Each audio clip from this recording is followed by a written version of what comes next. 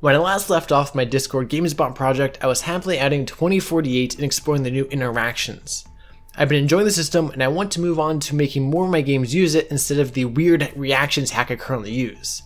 Unfortunately, things have taken a huge turn of events and I ended up ditching Discord.js entirely, which was the underlying library I used to interface with Discord, and decided to write my own.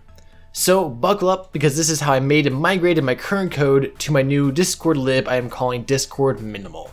Now before I begin, yes I made this, yes it works, and the bot is actually running using this, but I wouldn't hop aboard the ditch Discord.js train just yet.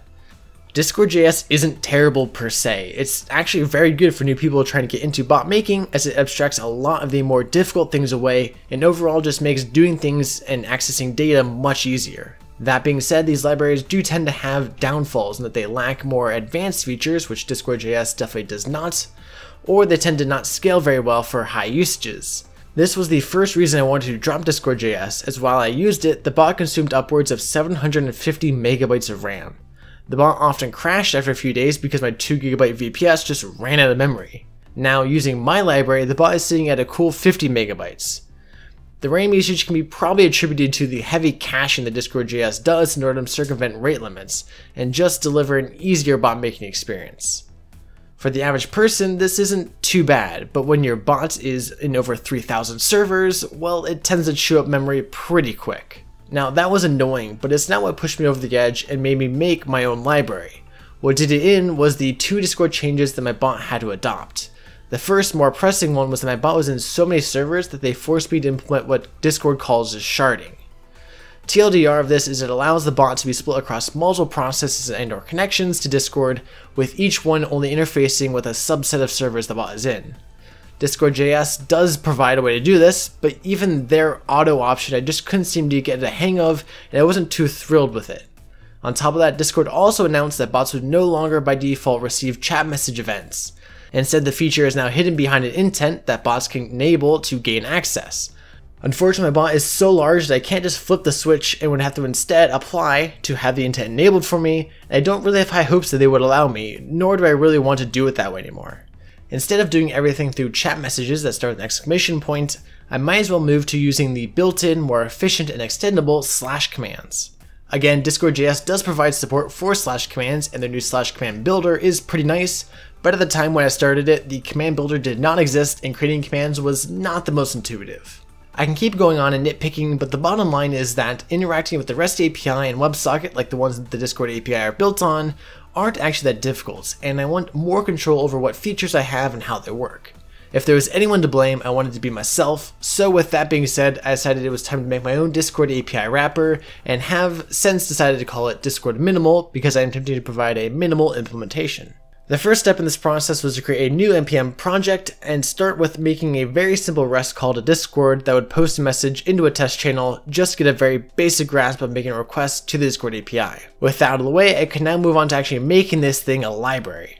Because my bot was using Discord.js, I wanted to lower the amount of work I had to do to switch from Discord.js to my Discord minimal, because of that, you'll notice they do a lot of things very similar, such as how embeds are created and provide methods that you can use to chain things together to set various variables in state.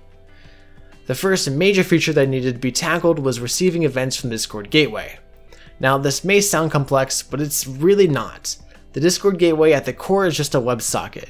It does have some special requirements in sending things like identity message and custom heartbeats, but we can slowly and easily build those in. I need to make a connection to the gateway before I can do any of this, so I need to make a new WebSocket with a given base URL that Discord returns in the get gateway endpoint, and stored that connection along with some other data values that I'll talk about as we get into later in an array. I also attach three listeners to the WebSocket to listen for relevant data. Close and errors are just housekeeping things that I won't talk about, but message is the bread and butter of this whole thing. Anytime we receive a message from Discord on this WebSocket, a message event gets called and includes the data that Discord is sending to us. I feed this data off to my main message handler function, which handles the processing of this data. There are two main pieces of data that we care about on each message in order to further understand what this data is. The first is mainly housekeeping and that's the sequence number of the message. Basically, it's just an ID that Discord will occasionally ask for to learn where your bot is at in processing the data it's sent to you. The more important bit of information is the opcode. There are a bunch of different opcodes and you can see a full list in Discord's documentation, but most of them are not that interesting and I only handle a few of them. These are all just used for disconnecting, reconnecting, and resuming the bot's WebSocket connection, and I'm not really going to talk about them for now, but one we will really do care about is the opcode 0. Opcode 0 signifies it's some sort of Discord event, such as a message sent in a channel, a reaction to a message, a user clicking on a button, and essentially everything else that happens in Discord that maybe you may want to listen for. I simply pass off the data to an onEvent method that pulls off the event's ID, which informs me of what event it is and what event data it holds. And then I check that event ID through a very large and not quite exhaustive switch statement. Yes, there are cleaner ways to do this, but this method suffices for now. You'll notice that I have a lot of these switch cases marked as to do, and that's because I just haven't needed to implement these events yet for my bots.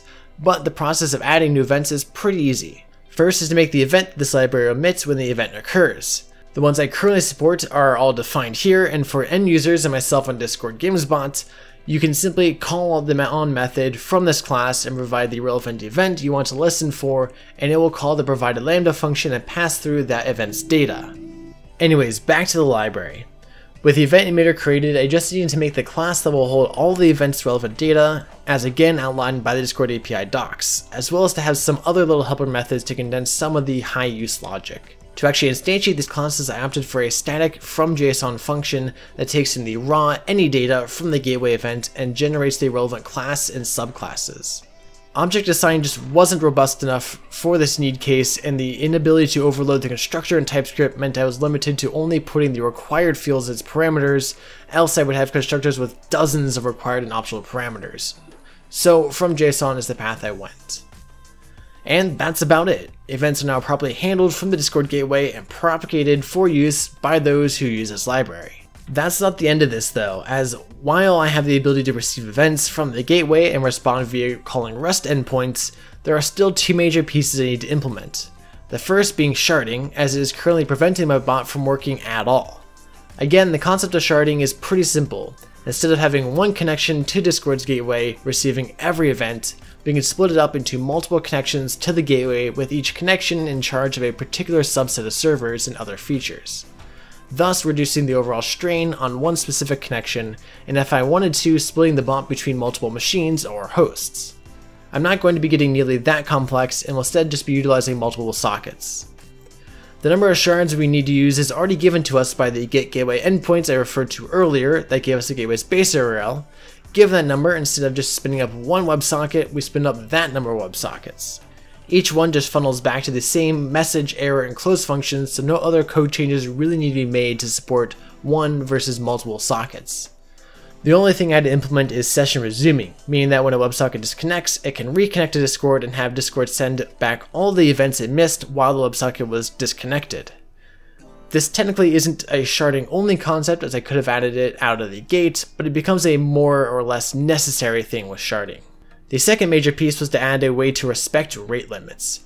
This was by far the hardest and most complex bit of code that I had to make for this library, and it took me a few tries to get it right, but this is what I ended up with. Now, the fundamentals of rate limiting are pretty easy to understand.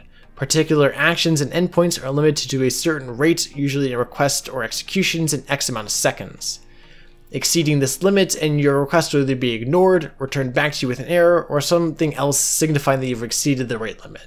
Discord uses a bucket-based approach to rate limits in that there are different rate limits for each bucket, with each bucket usually being just one specific endpoint, but sometimes has multiple endpoints grouped into it.